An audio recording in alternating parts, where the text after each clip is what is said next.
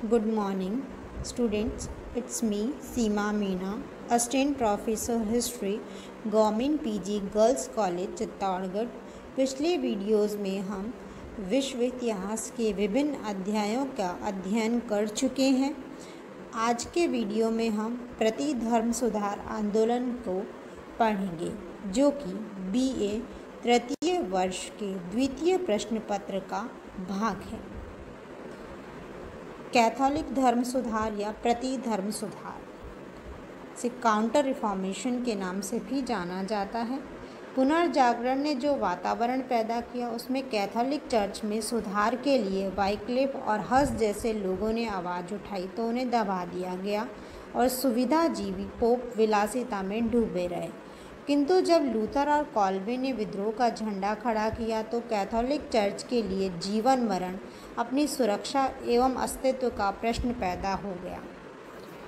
आप इस फ़ोटो में यूरोप में प्रति धर्म सुधार, जिसमें कि चर्च में सुधार की बात होती है, को कुछ हद तक देख पाएँगे।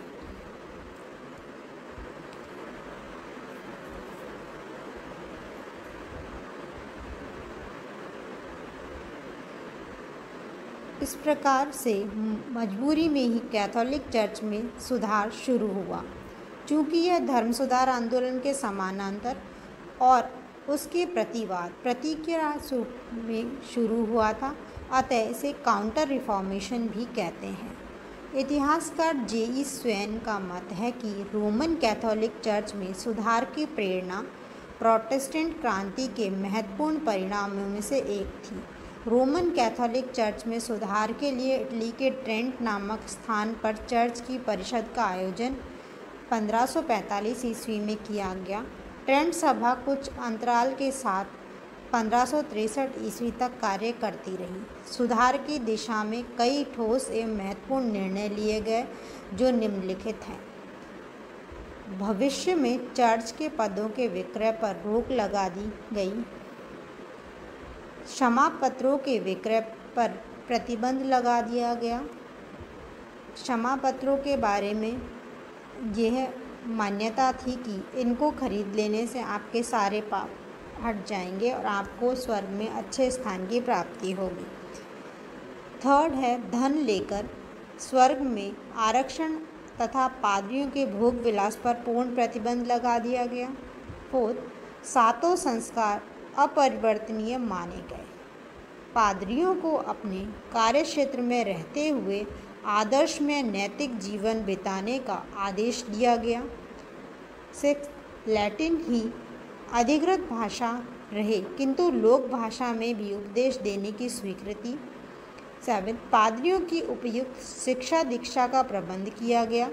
एट, निषिद्ध पुस्तकों की सूची इंडेक्स बनाकर उनका पाठन पठन निषिद्ध कर दिया गया। बाइबल के लैटिन संस्करण को ही अधिकृत माना गया।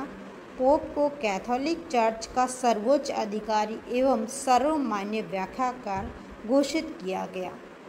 टेन मुक्ति का आधार चर्च के माध्यम से संपन्न कार्य बताए गए और चमत्कार में आस्था व्यक्त की गई। इन निर्णयों से चर्च तथा कैथोलिक अनुयायियों में आत्मविश्वास जागा और सारी व्यवस्था में जो निराशा और ढीलापन आ गया था, वह दूर हो गया। किंतु कैथोलिक चर्च में नवशक्ति संचार के लिए इग्निश लायोला 1491 से 1556 ईस्वी का स्थान सबसे महत्वपूर्ण है। स्पेन निवासी वीर सैनिक लायोला ने जीसस समाज या ईसाई मसीह का समाज की स्थापना की, जिसके सदस्य जैसूद या जैसूद कहलाते थे। 1540 ईस्वी में इस संस्था को चर्च की औपचारिक स्वीकृति मिल गई। इस संस्था का पूरा संगठन सैनिक आधार पर था। कठोर अनुशासन, सरल जीवन, पवित्रता, दीनता, आज्ञा पालन ईसा के जीवन का अनुकरण तथा पोप के प्रति पूर्ण समर्पण इस संगठन के प्रमुख सिद्धांत थे। जैसूट बहुत अच्छे मिशनरी थे। कैथोलिक धर्म को छोड़ने की होड़ को उन्होंने रोका ही नहीं, बल्कि परिवर्तित लोगों को भी उन्होंने पुनः कैथोलिक बनाया। इतना ही नहीं, उन्होंने दूर दराज के देशों में कैथोलिक धर्म के नए क्षेत्र भी बनाए। नेक्स्ट है धार्मिक न्यायालय। इंक्विजिशन यह एक धार्मिक न्यायालय था, जिसका उपयोग प्रोटेस्टेंट वादियों को आतंकित कर उनके प्रचार प्रसार को अवरुद्ध करने के लिए किया गया। 1542 ईस्वी में संस्था को पोप ने पुनर्जीवित किया। यह संस्था प्रोटेस्टेंट वादियों और ढुलमुल कैथोलिकों का पता लगाकर उन्हें दंडित करने और कैथोलिक चर्च के आदेशों को कठोरतापूर्वक पालन करवाने का कार्य करती थी। यह साधन अनुपयुक्त था और इसने चर्च को कलंकित ही किया। जिस चर्च का आधार दया, प्रेम और सेवा हो, उसके न्यायालय असहिष्णुता का प्रमाण देने लगे और नशंस अत्याचार के माध्यम बन गए। सारांश तय। कैथोलिक के धर्म सुधार, प्रयास, प्रति धर्म सुधार आंदोलन, हज़ारों साल पुरानी व्यवस्था को बचाने में सफल रहे। अन्यथा, प्रोटेस्टेंट आंधी में सब कुछ बदल जाता।